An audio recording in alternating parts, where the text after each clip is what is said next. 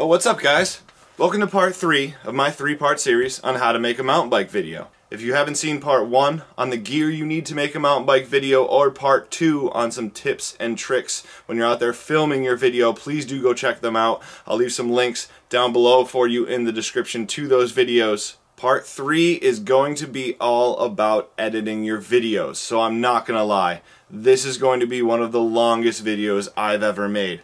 But if you're willing to sit down and watch through the whole thing, I'm going to give some really detailed tips and tricks and actually show you inside my editing platform how I take my video from a ton of raw footage to a fine-tuned 3 to 5 minute edit. Now since the video is going to be longer than usual, I'm going to throw up some of the ideas that I'm going to be teaching you guys and the times that those are locked and loaded. If you're already a pro and you're just looking for one thing or another, just skip to these times to check out the different features that I'm going to show you in the editing platform. If you haven't subscribed to the channel yet, make sure you smash that subscribe button so that you get all of the updates. From review videos to shredits, I do everything I can related to mountain biking to help you guys learn through my experiences.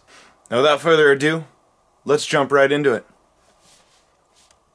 Time. The first thing that you need to figure out is which software you're going to use to edit your films. The platform that you see here is Final Cut Pro. There are multiple other softwares out there like Adobe Premiere, Filmora. There are free options out there. Just do your research and figure out what's going to work best for you. That being said, all of the tips and tricks that I give you here should work across most platforms. All right, so let's jump right into it. First things first, you wanna make sure that all of the film that you have has been organized. As you can see here, I've started an event and a project. I'm going to import the film that I have on my computer. As you can see here, I'm very organized. Once you're done with a ride, you're gonna have all of this footage to scroll through. So the first thing that I always do is I sit in this folder outside of the software. I go through, I like to watch all my clips, make sure everything looks cool, check them out, delete anything that's excess or any film that wasn't needed or accidental filming. Just try to make sure that everything that you have in your folder before you import it is pertinent to the film that you're making. I've already done that, so I'm going to take all of my clips and import them into the software. Now you can see that all of the clips that I had have been imported. So I have my project up top here, and then I have all of the clips listed down below. Once I have all the clips in here, you can see that there's a scroll over feature. So some of these, you know, I'm only going to use a super small portion of this clip, but the whole thing's in here and we'll pull out what we need as we go. As you can see here, I have also imported my end logo and my intro video. So this intro video was previously made in Final Cut Pro, and then my end logo is very simple. This is something I just made in Photoshop. Photoshop is one of the extra tools that I use to make my end logos, to make some of the features, also to make some of the thumbnails for my videos. Assuming that you've seen my YouTube channel, you'll see that I have some pretty bright and shiny thumbnails. Again, if someone's searching for your video, this is the first thing they're gonna see. Now, normally when I start my videos, the first thing I'm going to do is start with a base. You need to start somewhere in order to build your video out. And for this particular video, my base is going to be my first person footage. So I'm gonna take all my first person clips and I'm gonna drag those down into my timeline, which is where you actually make the video itself. Now that we have all the first person in the timeline here in the base of our video, we're gonna move into one of the most important steps, and that's gonna be editing the color profiles of your videos. So my goal here is always to make sure that all the video clips are up to par and that the colors all work with each other. You don't want one that's lighter, one that's darker, one that's off. You never know how the footage is gonna come out when you take everything from your camera onto a screen. One of the things I wanna point out with a couple clips here is one of the features that I told you about as far as GoPro settings. When you have your GoPro color setting set to color, like I mentioned in the previous video, there's a lot of contrast in the video. So all of your shadows are very prominent, all of the light is very bright. And this can make it hard to make a nice uniform video. It makes it harder to read the trail, just harder for the viewer to interpret the clip. In the video, I told you to record with your GoPro color set to flat. This clip here, you can see is the same day, but the color is set to flat. So these shadows are a lot softer. Everything in the video is a little easier to read, and then I'll edit up the colors from there. Now, no matter the software you're using, the color editing should be pretty straightforward. So I'm gonna go to my first clip here, find a nice view where I can see a bit of the trail. I'm gonna go up here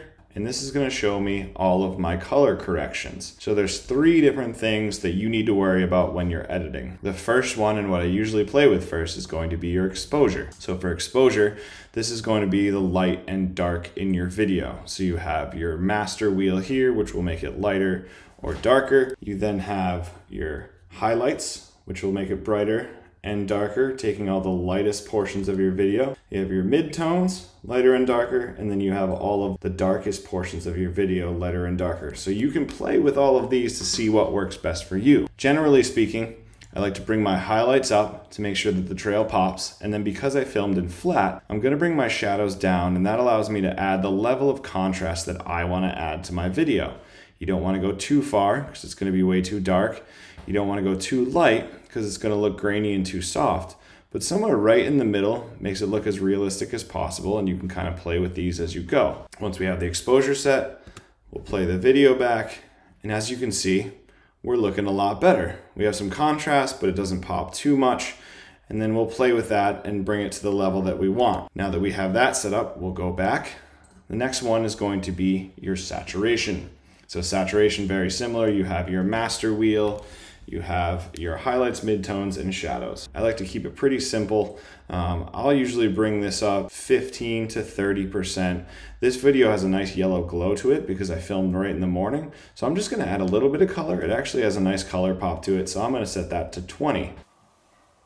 Bonus tip. Don't put too much saturation. Make it look realistic. This mouse is supposed to be this red, not this red easy on the saturation, think realistic. Now, onto the final setting, and this one is where it gets a little trickier and a little more in depth. Sometimes when you film, the camera is going to change its color settings. There might be a green hue depending on what you're filming. Some of the colors in the video might pop and just might not work the way you want. So this is where your actual color wheel comes into play here. As you can see, you have your master color, your shadows, your midtone, and your highlights. The one that I usually like to play with is the highlights. And again, this is all going to be trial and error. But you can see maybe your video has too much of a green hue to it, so you can add some more blues to it. You know, originally it has kind of this yellow hue, which is actually kind of nice. I might leave it, but if I wanted to make it a little more realistic.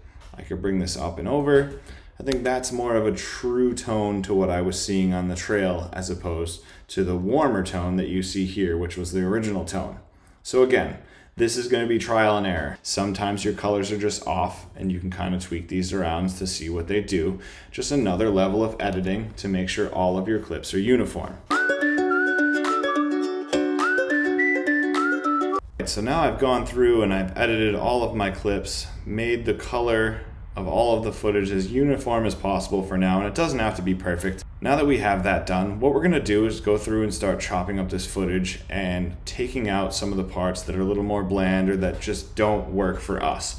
I'm just gonna play this video and I'm gonna show you how to use two very easy tools that should work in any video editing platform that you're using. For Final Cut Pro, uh, there is controls on the keyboard I can use, but there's a couple different tools here that you can use. One is the select tool, so that's how I select my clips. The most important tool after that is going to be the blade tool. So yes, this is a blade, literally like a scissor. If I go through my clip, I can cut this clip into whatever pieces I want, and that is how I trim my video down. So I'll go through, I'll play this video right now, starting kind of slow. So I'm actually gonna take this, I'm gonna cut that piece out. Now my video is gonna start where I'm just getting rolling into the trail. I don't wanna stay on this too, too long. So once I'm up in the woods, maybe I'll cut here and then I'll fast forward to where I'm rolling down the trail a bit more, maybe right there. So now I've taken clip that's over a minute and a half long, I've drilled it down. Again, this goes to what I talked about in my previous video,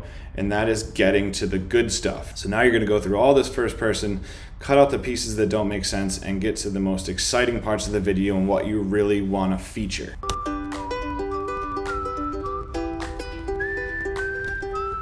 once we have all that done, the next step for me is going to be to drop in some of this third person.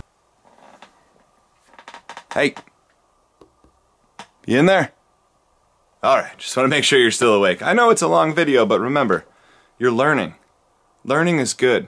So as you see here, I have a bunch of different third person clips. What I'm going to do is link in some of this footage into what I already have and just drop it into the places that I know it fits. So for example, I have this clip here of me going off of this log drop. I push in, so that's I, and then I push O for out, and that's gonna allow me to grab this one piece of this clip. Now I can take this, figure out where I wanna put it, make sure I'm on the right trail here, and there's my log drop. So I'm gonna drag my dropper there. I have this segment.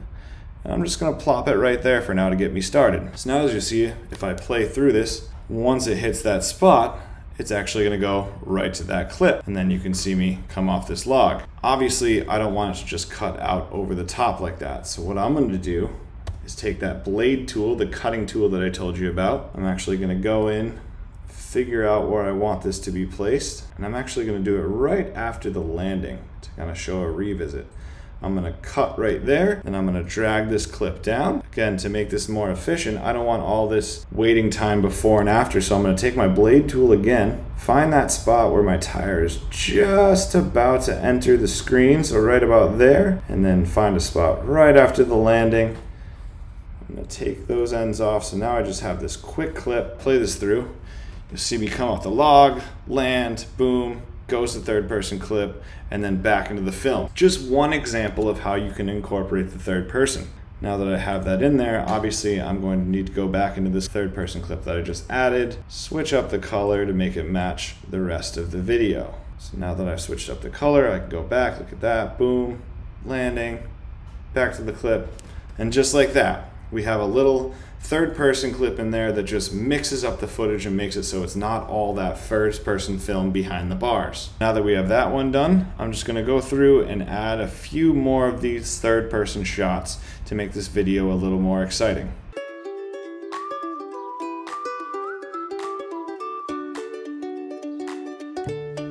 Alright, so now I've gone in and I've added a couple more third person clips. That brings me to one of the next points and something we discussed in my previous film, and that is adding slow person footage to your film. When I filmed this clip, I filmed this in 240 frames per second. And the rest of my film is 30 frames per second, so I know that I can slow this down pretty drastically to make it a better film. And even just scrolling over it, you can see how cool this actually is if I can slow that down. Right now, it all happens so fast, you don't really get to see it. So what I'm gonna do, I'm gonna take this, I'm gonna take my blade tool again to cut this clip, and I'm gonna cut it right about where it's most intense and where I really want that slow motion to shine in this clip. Right through there, I wanna be able to see some of the dirt, and I'm gonna stop right about there. So now I have the initial clip is split into three different pieces. I'm going to take this middle piece, and again, depending on the software you're using, these might be in different places, but if I go up to this setting right below the screen, I can click slow. I can either slow it down, speed it up, normal. There's a bunch of other, you can reverse clips, you can reset speed. There's all these different options. I'm gonna go to slow it down, and I'm gonna slow it down to 10% of the original speed. And you can see it took this very small clip, and obviously it's a lot longer now because I slowed it down so much. But when we play it back, Start slow, boom, slow motion, dirt flies, crowd roars, boom, cuts out, back through the feature. So again, something as small as this, adding this one little slow motion piece, just makes a game changer. It's another level to your film, and if you add a few of those into your third person throughout the film, it's going to make it that much more exciting for the viewer. Bonus tip! Slow motion is a perk, but don't put 30 seconds of slow motion. Quick clips, quick drops of slow motion. Nobody wants to see a 10 minute slow motion video. See you. Now we have some pretty good first person footage. We've done our color editing. We've added in some third person clips to make it a little more exciting. What's next? I'm going to pretend this one is done for our intents and purposes. So the next step for me is going to be to add my intro and then that'll roll into the video start itself. And then I'm going to put my outro at the end here. So this is my outro. So now I have a beginning and an end. Now, like I talked about my previous video, now you really want to see how you're going to start your actual video. So what I'm going to do is take a couple films that I took here of me getting out of the car, loading up the bike. I'm going to add those in and cut those up, put them in the beginning to show you an example of a quick standard intro. Alright, so now I've done some quick editing to make a little intro here. Again, this is nothing special, just wanted to show you how it can be done. So I've taken a few clips of me just checking out the bike at the car, dragged and dropped those, cut them up a little bit to trim them out, and this is what we've got. Standard intro, bike check on the side of the car, everything looks good. Hop on the bike, and then that's gonna transition into the behind the handlebar view and that starts my third person and flows into the rest of the video. Now there's some other key elements that can make your video a little smoother from start to finish. One of those is going to be your transitions. So again, can be different in every software, but if you go over here in Final Cut Pro, there's a little transitions button, and there's all these different transitions you can use. Now I like to keep it, and for this video I'll keep it super simple. This is a standard cross dissolve. So if you scroll across this, you can see that it will dissolve from one clip to the other. So these are transitions from one clip to the other. And there's a million different ones. There's cool rectangles, there's colors, there's circles in and out. Again, for this, we'll take the standard cross dissolve. Now from here to here, you'll see that it just runs my logo, boom, all of a sudden it started. So if you wanna make that a little smoother, we'll take one of these transitions like cross dissolve, we'll drag it between these two clips, and because this one ends pretty abruptly, it's going to warn me that there's a little ripple, so it's going to take a little off the end of this. But now, when we play this, logo drops, slowly transition into the opening of the film. So another cool feature there, and again, there are a ton of these. You can scroll through, you can play with them. Bonus tip, easy on the transitions. Keep it simple. This is not a circus act. Easy on the transitions. See ya. Now in addition to adding transitions to your video, you can add some music. So the intro is kind of bland. So you know what? I'm actually gonna turn the volume down. So now these will go from having some sound in them to no sound right off the bat. This is your sound control in your clip. It should be similar in every film. And what I'm gonna do is add some music. So again, different in every software, but in this, I can actually go in. I actually use Epidemic Sound, and I'll, I'll put some links in the description below of different uh, sound platforms you can use for music. You don't want to just take an artist's music and throw it up there without permission because that is copyright infringement. So these are a few songs that I've downloaded. So what we're going to do is drag that down to our timeline. Normally your music will go below your video. And I'm going to want that music to start right in the middle of that transition and then I want the music to end. So again, using our blade tool, I'm gonna have that music end right there. And then there's a little tab here where I can pull that back and it's gonna fade out as we move into the next clip. Now you'll see what was quiet before. We're gonna play that through with some music.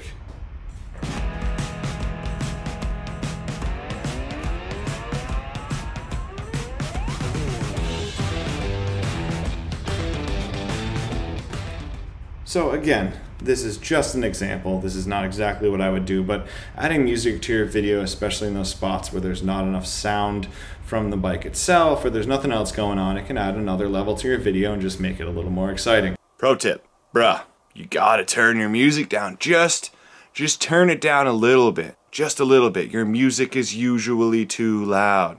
Huh, later.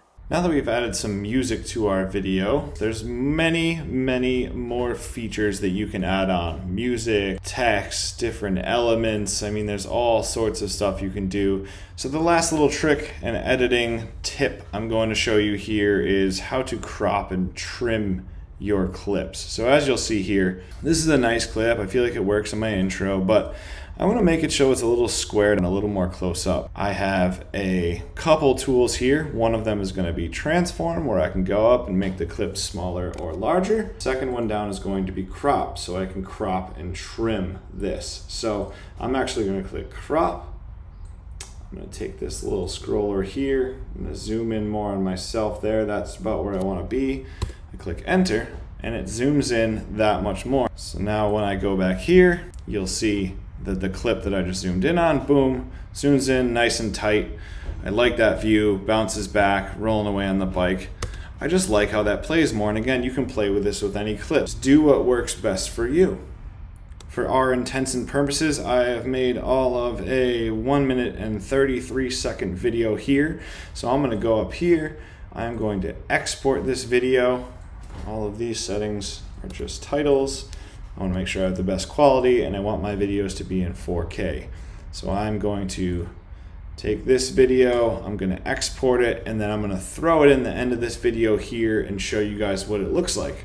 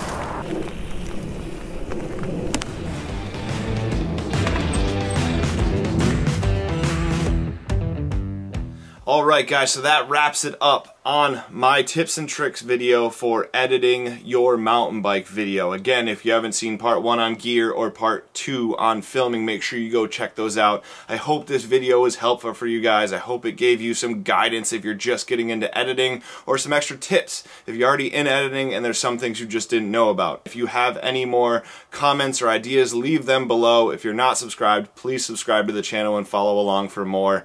And remember, making mountain bike videos is all about having fun. Get out there, film, throw it together, see what you can do, and just keep riding, guys.